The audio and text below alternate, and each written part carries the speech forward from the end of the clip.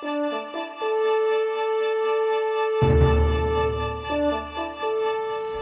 I'm uh, Marisol. I'm a professor in the Department of Plant Sciences, and I'm doing this uh, survey for alfalfa uh, to try to model how we can determine uh, yield and yield losses in alfalfa fields. So we're doing this sampling that county agents in the state will help me. So uh, following up, we'll do the instructions step by step on how to sample these fields. So now I want to show you first the materials that you're going to need for the sampling in the mail or through your county agent specialist or the research stations, you're gonna get the bags for sampling. For each field you sample, you'll get three bags. You'll need three bags. Inside each bag, you have twine and the instructions and the sheets that you're gonna need to record the data. Also, you will need other material that is not coming in the bags, but you will need uh, a measuring stick or a tape, measuring tape, flex, or you could use sticks to whatever you have to mark four corners of a meter square, and something to cut. You, we use these. You don't have one of these, you could use a scissor, okay, or a grass clipper too. Mm -hmm. And of course, you need a pencil to be able to record the data in here.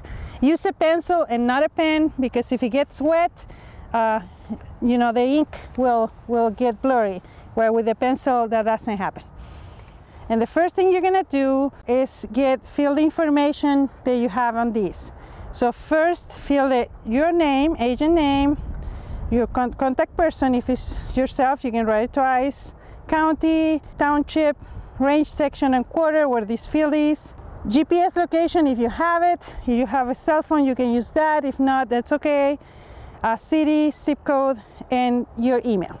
Then write the sampling date, the day you're sampling, uh, the alfalfa, find from the farmer what is was the alfalfa planting date, hopefully month and year. If you don't have both, just a year will be okay. And then if it's irrigated or not, and if you're sampling the first cutting, second cutting, third cutting, or more. So I'll fill this information first and then follow with instructions. So I'll write the name. I'm gonna put my name here, okay? And the information of the field here where uh, sampling in Fargo experimental station, okay? And then you write sampling date. Today is May 25th. And this alfalfa was planted in 2011 in May. It's non-irrigated and this is the first cutting. So that's how you mark in your sheet. So now it's time to, to uh, start sampling. Once you have the information completed, uh, select an area in your field to sample. Walk 30 feet in an area of the alfalfa field. Once you're in the area you're going to sample, nearby find three areas of a meter square, one with high density if possible, one with medium density like this area here. And one with very low density. So try to get a range of densities in the, three squares. So my students are going to mark a meter square in the high density area and this is what you do. We have a meter square made but you can do it with a measuring stick and put it in one side get the flags four flags you need for meters for each meter square or a stake. So you put it in each one. So this will be the high density area that you're gonna sample. After you've done the high and the medium the last one we're gonna do is the low density so find an area with very few plants like this okay and then they're gonna mark it again the four corners so we have those. Once you've marked the four of them, now you are ready to start taking notes and measuring uh, the alfalfa density, height, and staging in each square. Now you need to measure the height in each one of the squares, only measure one plant to the top, so go with your measuring stick or tape, whatever you have, take to straight the stem that you've chosen and measure the height. This is 20 inches high and recorded it in here where you're gonna say your first plant, plant high, you say 20. Now the next thing you have to do is the staging. And for the staging, you're gonna choose 10 stems, uh, 10 stems, okay, count 10, look at what stage they are, um, and decide the staging. This, if I count 10 stems, this is an early vegetative stage. Now you're in the square with high density and you need to count plants. So you're gonna separate the plants within the square here, okay? And for each plant, here's the corner, for each plant you're gonna count the numbers of tens of plants. This is one crown. You see one crown of a plant. So all this one is only one plant here. So you count the stems, one, two, three, four, 5, 6, 7, 8, 9, 10, 11, 12, 13, 14, 15, 16, 17, 18, 19, 20, 21, 22, 23, 24, 25, 26.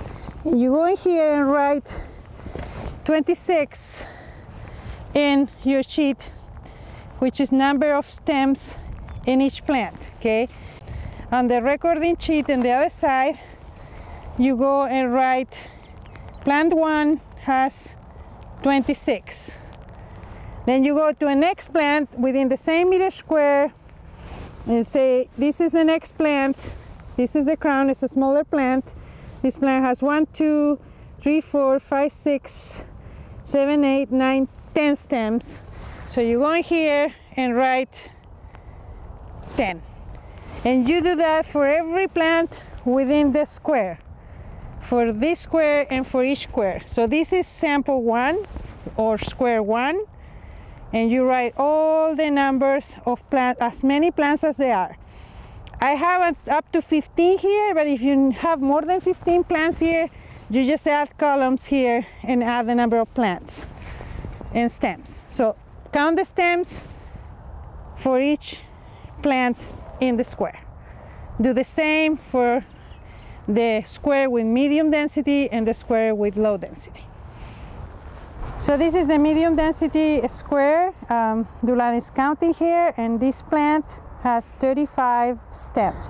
Once you count them, then you record in your paper and this sheet here, you record the number, in this case is 35 stems for plant number one. All right, this is the low density square. Uh, Alan is counting here the plant. This is one plant here within the square and he's gonna count all the stems on that plant. Even the small stems, you see he's counting all of them. Now you're doing your low density square and you'll write how many stems in each plant. So that plant has 44 stems and this is a low density. You'll write plant one on this square has 44 stems. For growth staging the plants on your square, that means uh, what's uh, vegetative or bloom or bud stage are, you need to take 10 stems within your square, each one of the squares, lay them out on the ground like this, okay, and once you lay them down, then look at them really closely, what's the stage. You see here, each one of these is a flower bud, each one of these, okay? So this plant is in medium to late bud stage, already buds are coming.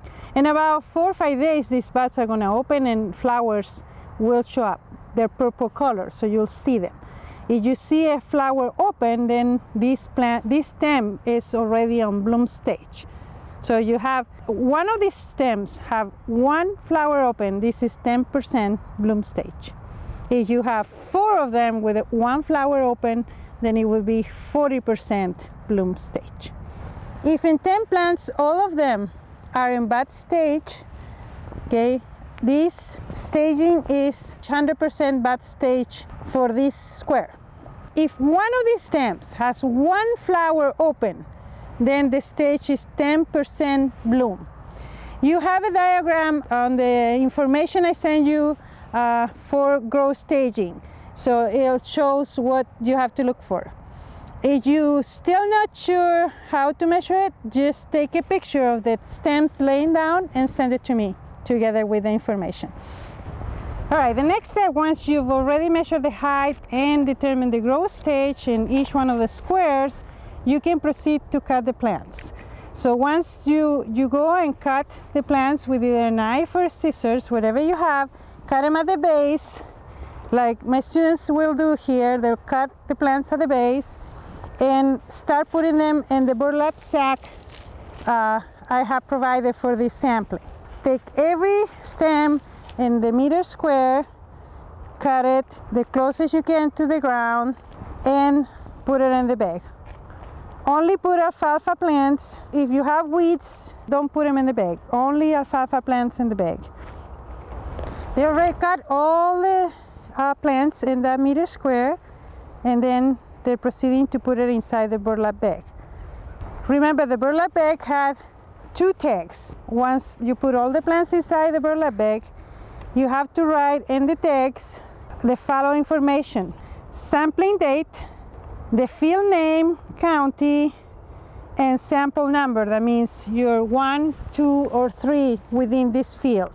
And you can put your name in the tag too. So write in both tags the same information. So once you write information, you put one tag inside the bag and the other tag you use it to tie the bag. But also we say give you twine and just to make sure you know it gets tied, we'll also use the twine to tie the bag. You've done already one square, uh, then you go to the next one. Again, cut all the stems in that square, put them in the burlap sack. Uh, make sure you take both tags out, write the information, sampling date, county, field name, your name, and the sample number, whether it's one or two. This would be number two because it's the second sample or second square meter that you're sampling. Then again, tie the tags. One goes inside, one's outside, and tie with the twine. And then you're done with a square. And after that, you'll do the same for the third one with the low density. And once you have those three squares, you are done with the sampling. Once you got the three samples, the bags are ready and all tied up, you can take off the flags off the squares uh, take them with you because you will need them probably for the next sampling. Don't leave them in the field because they're wire. If you have wire bag uh, flags, those are not good to for the farmer to get in the in the bale. So take all the flags with you and uh, bring the bags to your uh, area specialist if you're working with one of them in your county or if you're not working with one of them send them directly to Fargo let me know when you're gonna need them because I'll send you prepaid labels for shipping the bags. Once you're done with uh, all your sampling and you've harvested, you're gonna have this spreadsheet. It's gonna look something like this. Okay, you're gonna have for each plant, you're gonna have a, a number, right? Uh, of the number of stems on each one of the plants that you counted. Something like this, right? I'm just putting numbers here uh, if you have more than 15 plants in that square, then just add columns to the sheet here and start writing the numbers. So there's mm, a space for 15, but you have more, just continue writing the numbers. Once you get back to your office, you know, you're gonna have for each sample one, two, and three, you know, the high density, low density, uh, and medium density, okay? Once you get your office, you can just add all the columns and add the numbers. The formula, it is already in the spreadsheet I sent you. So automatically when you, you uh, type in all these numbers in here, the total number of stems will show up here and the total number of plants will show up in this column. If you add columns, you will have to modify the formulas on these cells so it adds those uh, columns too to the total.